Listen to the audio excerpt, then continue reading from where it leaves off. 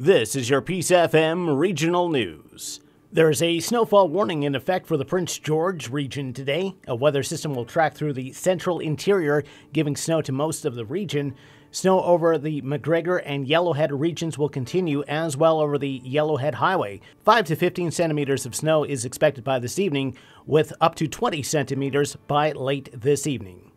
Motorists are reminded to adjust their driving with changing road conditions.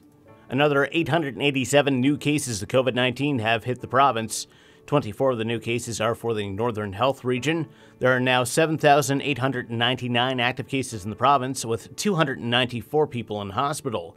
64 are in intensive care. 13 more deaths have been reported. Fort St. John RCMP are on the hunt for a wanted man.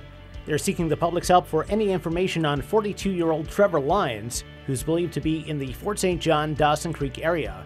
Lyons, who's wanted on multiple BC wide warrants, is described as 6 foot tall, Caucasian, with short brown hair and blue eyes. His estimated weight is 200 pounds, and he has a dragon tail tattoo on his left bicep.